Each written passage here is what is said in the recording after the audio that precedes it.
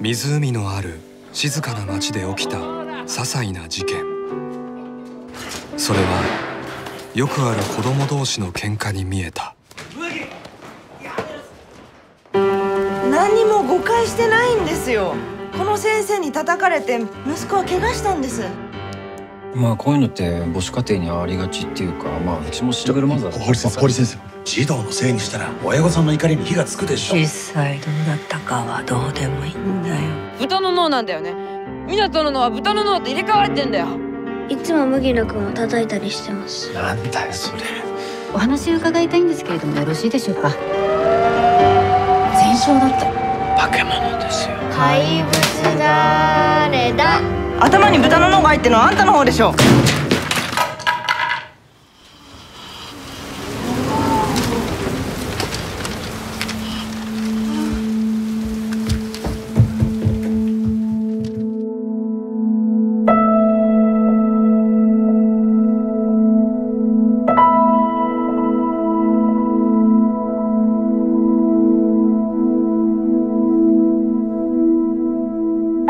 私が話してるのは人間？怪物。